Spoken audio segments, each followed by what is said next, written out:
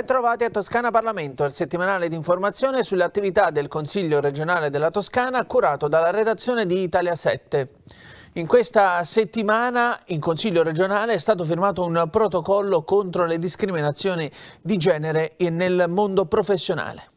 La lotta alle discriminazioni e la promozione della cultura del rispetto di genere sono state al centro di un doppio appuntamento a Palazzo del Pegaso, promosso dalla Commissione Toscana per le Pari Opportunità. È stato firmato il protocollo siglato dalla Commissione il Comitato Interordinistico Insieme per le Professioni, nato nel 2018, per combattere tutte le discriminazioni nel mondo della professione. A illustrarlo, tra gli altri, la Presidente della Commissione regionale per le Pari Opportunità, Francesca Basanieri, e il Presidente del Consiglio regionale, Antonio Mazzeo. Un messaggio importante quello che oggi vogliamo dare, ringrazio la Presidente della Commissione Pari Opportunità Francesca Basanieri, eh, ringrazio il Comitato Interordinistico insieme per le professioni. Eh, oggi qui noi vogliamo dire che tutti insieme possiamo cambiare le politiche pubbliche per sostenere la parità di genere nei luoghi di lavoro. Eh, dicevo prima in conferenza stampa che ogni qualvolta eh, una ragazza ragazza che arriva ad un colloquio e gli viene chiesto se ha, ha, figli o pensa di avere figli e questo cambia la valutazione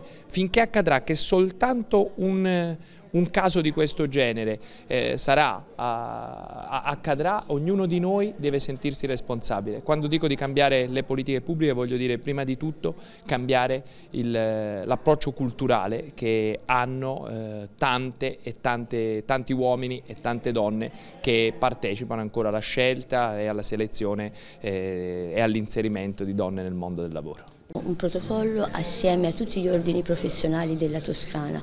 con l'obiettivo di lavorare insieme per costruire una cultura di parità diffusa su tutto il territorio. Grazie alle loro professionalità possiamo costruire iniziative e progetti che siano diffusi appunto su tutto il territorio della Toscana e diano la possibilità di creare e di prevenire qualsiasi forma di violenza, ma anche di costruire un mondo in cui le donne possano essere realizzate soprattutto sul lavoro. Credo che sia molto importante che le professioni si siano messe insieme e abbiano compreso questa, questa necessità. È sicuramente un grande passo avanti. Con il protocollo d'intesa la Commissione regionale per le pari opportunità e il Comitato interordinistico insieme per le professioni intendono collaborare per individuare percorsi di diffusione della cultura antidiscriminatoria e di destrutturazione degli stereotipi al fine di prevenire e contrastare ogni tipo di violenza e discriminazione e promuovere le pari opportunità. Sono stati individuati alcuni ambiti di collaborazione, promozione di attività congiunte di sensibilizzazione sui temi oggetto del presente protocollo,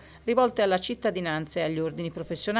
attività volte in particolare alla promozione dei principi di parità tra le persone e delle pari opportunità attraverso la lotta agli stereotipi e a ogni forma di discriminazione, marginazione e violenza, anche all'interno degli ordini professionali, promozione di attività volte a diffondere una cultura che accoglie e rispetta le unicità. Io come ordine degli psicologi faccio parte insieme a altri 15 ordini e collegi, principalmente ordini provinciali, quindi della provincia di Firenze, di un gruppo che si chiama Insieme per le professioni. È un gruppo eh, interordinistico e interprofessionale che ha l'obiettivo proprio di, di, fare rete, di mettere insieme eh, i saperi e le competenze che ciascuna professione ha a servizio di ehm, percorsi e progettazione in ambito di pari opportunità. Politica ed informazione, anche quella istituzionale, sono state protagoniste di un incontro dedicato alla par condicio in vista dell'avvicinarsi delle prossime elezioni. Si è parlato a lungo di legge sulla par condicio in occasione del corso Par condicio e comunicazione istituzionale, indicazioni professionali e buone pratiche, promosso da Ordine dei giornalisti Toscana, Fondazione ODG Toscana e Corecom Toscana che si è svolto all'auditorium di Palazzo del Pegaso.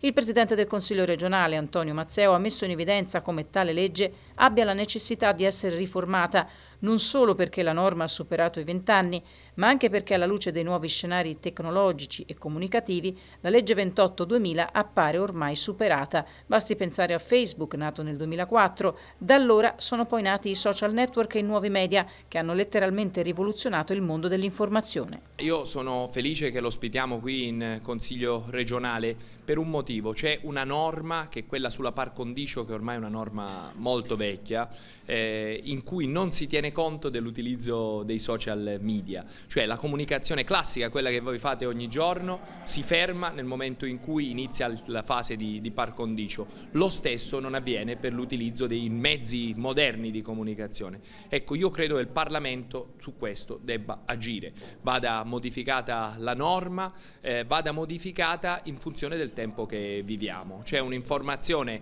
eh, che è importante, quella che fa il mondo giornalistico, che serve anche a superare a lavorare contro le fake news. Se noi lasciamo che sia soltanto la rete, si rischia che in quel tempo sia un tempo in cui le, le fake news spopolano e, e si cambia anche l'orientamento elettorale di tante cittadine e ce ne sono tanti che decidono negli ultimi giorni di campagna elettorale. Avevamo avuto varie sollecitazioni dagli operatori ma anche dai soggetti istituzionali a organizzare incontri formativi e informativi su un tema così importante che quando si avvicinano le scadenze elettorali eh, diciamo, sale la temperatura e l'attenzione su questo tema, per cui ci è sembrato utile fare questa iniziativa insieme all'ordine dei giornalisti della Toscana che ringraziamo e Acecom che è qui presente con noi questa mattina con la dottoressa Polcaro proprio per dare informazioni, strumenti di, e linee guida per affrontare in modo sereno come storicamente è avvenuto in Toscana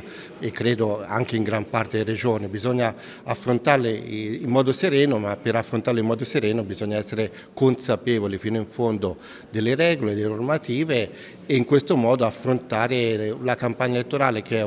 dei, è il massimo momento di espressione della democrazia in modo consapevole e appropriato. Questo è un appuntamento davvero significativo e rilevante per questo territorio e direi poi per i collegamenti che avete via streaming cioè, ci sarà un beneficio per, per l'intera eh, Italia, in quanto effettivamente arrivare ai territori e eh, fornire informazioni eh, puntuali e contenuti eh, esatti per prassi applicative buone, così come recita eh, il titolo del, uh, del, di, questo, di, questo, iter di percorso che stiamo facendo, eh, ci dà l'esatto spessore dell'importanza che la par condicio e quindi la comunicazione all'interno della campagna elettorale che ci avviamo fra poco qui a, a celebrare non solo come europee che sono quelle più significative ma anche per la regionale in Piemonte e per molte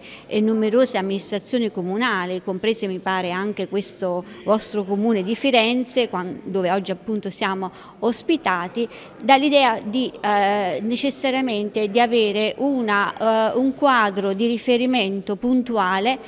in modo tale che sia eh, noi eh, istituzione Agicom e per essere il Corecom regionale, ma soprattutto anche eh, i giornalisti eh, e quindi gli operatori della comunicazione, nonché i destinatari eh, anche di certe attività come quelle della comunicazione istituzionale che sono i giornalisti all'interno eh, delle pubbliche amministrazioni possono avere un quadro eh, eh, di riferimento molto preciso, soprattutto cercheremo appunto in questi tre giorni eh, di illustrare un percorso che possa farci arrivare insieme a, a, sostenere il peso di queste campagne elettorali. Siamo molto contenti di iniziare questo percorso insieme al, al Corecom, sono tre appuntamenti, il primo ovviamente è qui a Firenze, poi replicheremo a eh, Siena e poi a Grosseto. Credo che sia arrivato il, il momento, visto che ci avviciniamo a una tornata elettorale particolarmente delicata, come del resto lo sono sempre state tutte, però diciamo che questa uh, particolarmente abbiamo sentito la necessità di venire incontro ai colleghi eh, facendo e organizzando appunto insieme al, al Corecom che, che, ringrazio gli incontri per fare chiarezza sulle, sulle, regole perché sentiamo parlare di par condicio, altri termini che sono, che, o almeno che dovrebbero essere familiari ma io dico sempre c'è la necessità comunque di rinfrescare un po' le, le nozioni di base anche se poi dopo ci addentriamo in eh, norme e regole che magari nel corso del tempo dovrebbero essere eh, rinfrescate loro, loro, stesse, considerato che dobbiamo fare conti anche con l'avvento dei social che sono qualcosa di deflagrante per la nostra vita privata e la vita pubblica. Quindi questa è anche un'occasione non solo per fare tra virgolette addestramento ma anche di confronto perché in situazioni di questo, di questo genere quando ci sono relatori di altissimo livello è anche importante avere un, un confronto per chiarire alcuni aspetti che magari restano più, uh, più oscuri. A Palazzo Bastogi, una delle sedi del Consiglio regionale della Toscana, nuovo eh, allestimento per le esposizioni di mostre. Ad inaugurare il nuovo corso è stata l'esposizione Tu nell'universo con le opere di Emilio Vedova. L'inaugurazione della mostra Tu nell'universo con opere di Emilio Vedova è stata l'occasione per presentare i nuovi spazi espositivi del Consiglio regionale di Palazzo Bastogi, frutto di un attento lavoro di restauro. La mostra si è aperta al pubblico con l'intervento musicale della violinista Lavinia Golfarini, che ha messo a confronto la classicità di Vivaldi con la sperimentazione di Stravinsky, tradizione e sperimentazione. Sono davvero felice, onorato di poter inaugurare eh, il Salone delle Feste di Palazzo Bastrogi, ristrutturato dopo tanti anni con la mostra di Emilio Vedova, uno dei più grandi artisti italiani del Novecento. Questi spazi sono davvero unici, ma questa mostra riesce a renderli ancora più belli. È davvero motivo di orgoglio per noi poter aprire alle cittadine e ai cittadini della Toscana questo spazio con una mostra di così grande valore. Tu nell'universo perché spesso le persone di fronte all'arte contemporanea si, hanno timore, quasi sono respinte dall'arte contemporanea e spesso non le capiscono purtroppo, ma perché vanno sp sapute spiegare. La scelta del titolo è perché Vedova, con questi quadri che avete visto in mostra e vedrete in mostra spero, eh, vuole far entrare lo spettatore, il fruitore dell'opera, all'interno del proprio lavoro, del proprio eh, disegno che ha ideato eh, Vedova. E per questo Tu nell'universo perché ognuno di noi, ognuno ogni fruitore, ogni persona può venire qua ad altezza occhio, sono state scelte, la scelta curatoriale è stata proprio quella di mettere tutti i quadri ad un'altezza che lo spettatore possa entrare all'interno dell'universo appunto che aveva ideato Vedova e quindi entrare in quel mondo che è la bellezza del, dell'arte di Emilio Vedova è una versione diversa rispetto a una mostra che abbiamo già proposto, che qui si arricchisce di una serie di opere che vanno a completare un percorso di un artista che ha lavorato più di 60 anni. Siamo riusciti a recuperare opere che appartengono a tutti i decenni artistici di questo straordinario pittore. Siamo in una cornice storica importante, un palazzo che ha una personalità forte, quindi riuscire poi a creare un dialogo tra un artista che nei toni cromatici, nella materia è molto esuberante, con un palazzo che ha una personalità fortissima non è facile. Credo che ce l'abbiamo fatta, abbiamo dato un taglio diverso alle solite mostre che magari si limitano a mettere i quadri in ordine cronologico. Qui abbiamo cercato di creare dei ponti invece tra decenni diversi per fare in modo che opere che non sono mai state esposte e messe insieme creassero dei significati nuovi. Venire a Firenze per un artista contemporaneo significa venire dove è nata l'idea del bello, del bello maschile con il David e del bello femminile con la Venere dei Botticelli. Sono i due prototipi del bello a cui noi non riusciamo a fare a meno. Pensando a una bella donna o a un bell'uomo, noi pensiamo a queste due sculture che ci hanno canonizzato. Venire con opere come queste, che eh, voi state eh, filmando significa portare un altro bello, quindi aggiungere bello al bello, quel bello che era un bello di imitazione di forme, di rappresentazione di grazia, diventa un bello di rappresentazione di caos, di tragedia, di illogicità, di dramma che meglio si addice alla nostra ehm, condizione esistenziale contemporanea. Tornare a Firenze per un artista di questo modo significa ricongiungere il bello dell'umanesimo del Rinascimento con il bello della nostra epoca. Ed è tutto anche per questa edizione di Toscana Parlamento. L'appuntamento con l'informazione dal Consiglio regionale della Toscana torna la prossima settimana.